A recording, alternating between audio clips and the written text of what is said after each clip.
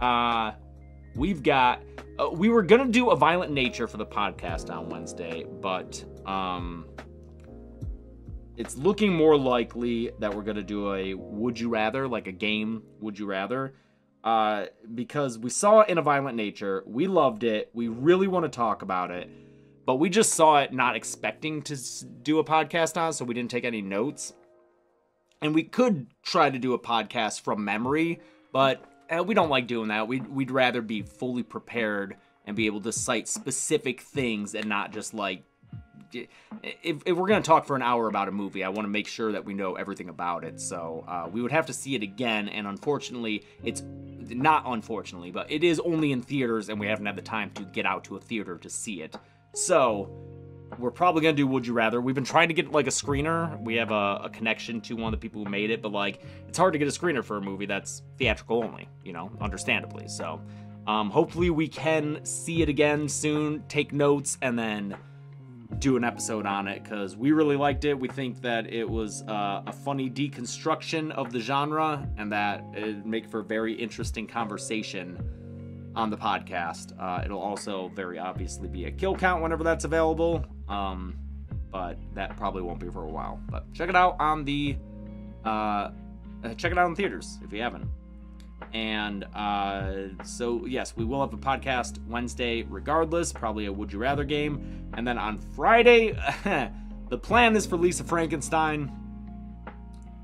Um, th- again, I, this this is my time that I allot myself to complain about things that happen to us on YouTube because uh, I don't want to uh, do it in too many other public facing platforms. Like I try not to tweet. Too. I did just tweet about the stepfather which is Sunday's episode, our Father's Day kill count, I did tweet about that getting copyright claims because it, it went further than usual in that they were threatening a strike on the channel for the stepfather.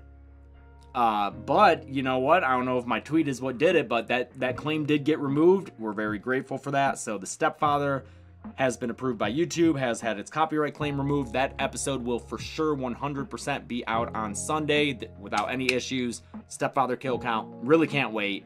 That stars Terry O'Quinn from Lost, who played uh, John Locke, and it's it's all good to go on Sunday.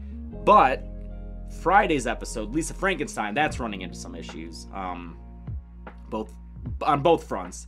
Because if you didn't know, we're always fighting two fronts. We've, we've got the copyright claims and then the content restrictions. And Lisa Frankenstein is running into issues with both it's getting copyright claimed, and it's hard to deal with those while we're still dealing with the content restrictions. The content restrictions, again, uh, man, I'm telling you, it's like YouTube just does not want horror to be present on its platform in any way, shape, or form because you know initially they they started to uh, tamp down on all the explicit gore when i started the kill count in 2017 i could put whatever the fuck i wanted in these episodes i wouldn't get the, the only time I got age restricted was I remember things were so lenient back then. When I covered Freddy versus Jason, I left the girl's butt in when she was running down the dock. I was censoring the boobs before that, but I was like, oh, it's a butt. It should be fine. Butts are on TV sometimes. And that got age restricted. And I was like, fuck. So uh, that was back in 2017. I blurred the butt and it was okay.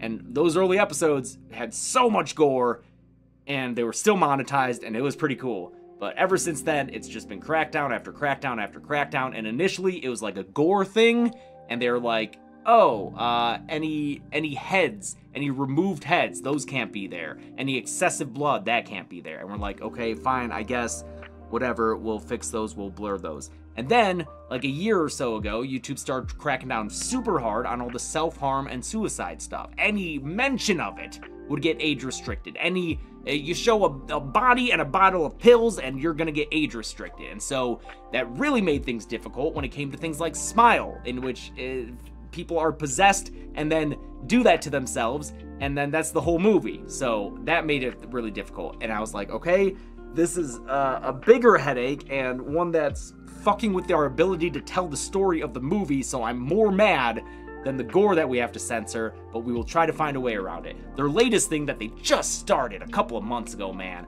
is this bullshit, sexually explicit things involving minors, and it they're they're slapping it on anything that has teenage characters, even if they're played by grown ass adults. Lisa Frankenstein has Kathryn Newton, a 26 year old grown ass woman, playing a high schooler because that's what you do with movies. You have adults play high schoolers, but because her character is in high school, anytime that like she grabs his crotch at one point over the pants, age restricted. They they talk about using uh, like she has a vibrator, age restricted. That movie is basically a PG-13 movie. It's it's R, but with just a few minor tweaks, it could have been PG-13, and it probably would have been better for it. Uh, but man, it, the the Hello Mary Lou Prom Night 2 episode was similarly just fucked. All the sexual content involving that grown ass woman who happens to be playing a high school character just had to be censored and blurred. That's why we had. Wait, Lisa Frankenstein is PG. Lisa Frankenstein is PG 13? And YouTube is fucking age restricting it? Oh my god. I can't. I can't fucking believe that. I just assumed that because it was getting restricted, it was. Are you kidding me, dude? YouTube's age restricting our video about a PG 13 movie? What? Oh my god. That's so fucked. That's so fucked. The MPAA, which is the organization that, if it were a person, would perpetually have a stick up its ass gave that movie a PG 13 and said 13 year olds and up can go fucking see it by themselves without parents. And YouTube's like, no, I don't think so. That, that high schooler is making out with a guy, and that's not a. Fucking Christ. Wow. God damn. If I ever fucking hang it up, dude, YouTube is why. YouTube is why, because they have just made it, uh, they're so hostile to what we are trying to do here, which is simply celebrate film and talk about movies in the horror genre and how they're made, and holy shit. I can't believe Lisa Frankenstein is a PG 13 movie and our video on it's getting age restricted. Wow.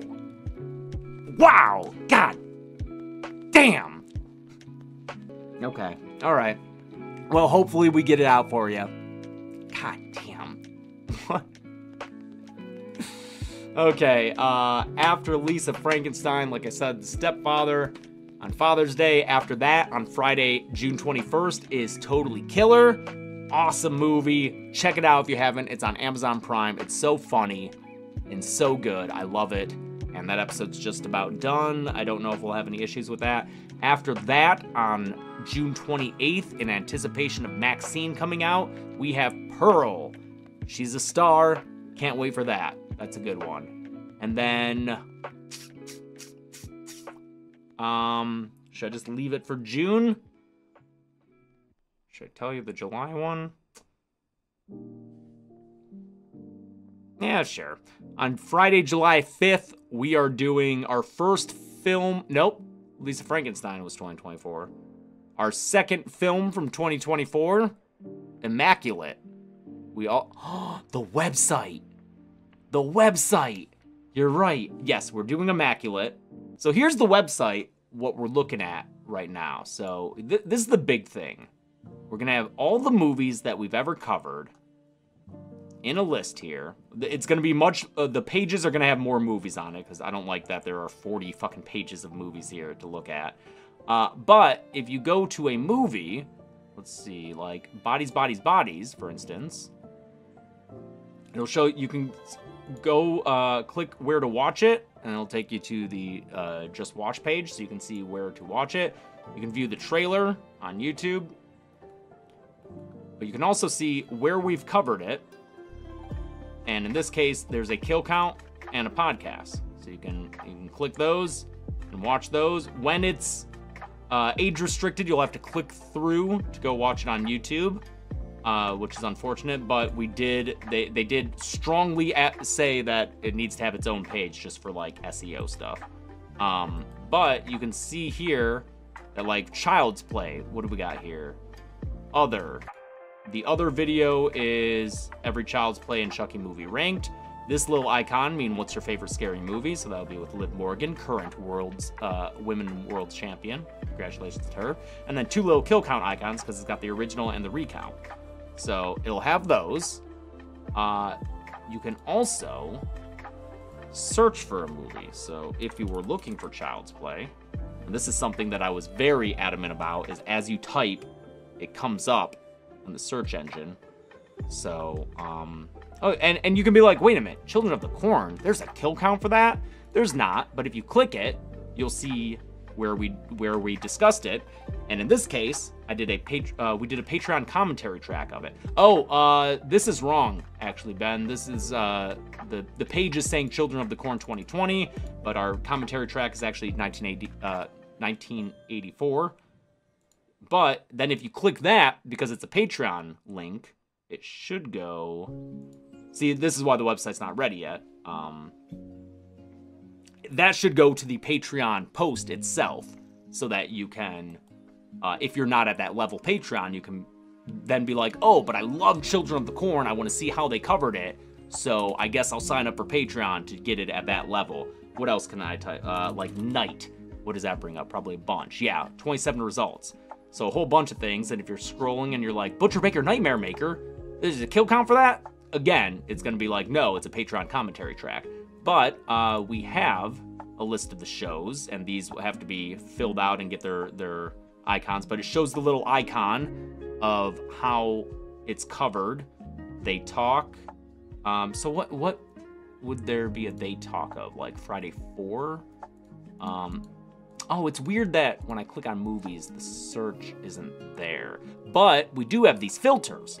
So we haven't categorized them all yet, but we're you'll let's say you're looking for a movie that you want to cover, uh, and you're like, oh, I kind of want to watch like a movie from the '80s that has like I don't know, it's kind of sci-fi and fantasy, but also has like creatures and monsters maybe. And uh, we haven't really done the fear factor or tone categorizations yet. But if you're like, oh, 1980s with like creatures, monsters, sci-fi, fantasy, uh, I don't know if I don't know if the nightmare films are monsters. So I don't know if those should be included. But Aliens is a perfect example of that. So yeah, it, it's what we're working on, and then you can also for, sort it out by like, oh, but I just want to watch kill counts. I don't want to watch anything else. So like, let's see if I take off these other filters, and we have. Um, also, I don't think there should be an apostrophe on the decades. Uh, let's see if the like they talk. What movies have been covered on They Talk?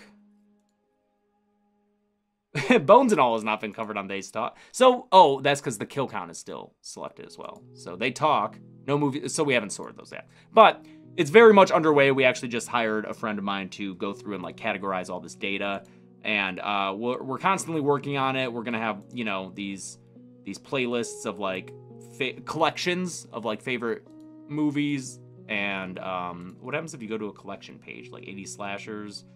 Okay so right now just nightmares in there. But that's what we're working on. And uh, we don't know will it be updated where each movie will be currently streaming? Yes and that'll stay up to date because that's not something that we have to manually do. There will just be this where to watch link and that'll take you to the website uh, just watch which is great it tells you where you can stream the movie and where you can watch it for free, where you can watch it with ads, where you can rent or buy it. So that'll always just be updated because JustWatch is good. Oh yeah, you can also click more info to go down here. And eventually one day we'd like it to where like you can click Kelli Maroney and it would take you to all the movies that feature her in them. So uh yep, we're working on it. Still um clearly under construction but that's what the website's looking like, and hopefully you can uh, see that pretty soonish. But I've got to go take care of some shit before my workout. Thanks a lot for coming in, and uh, we'll see you next week.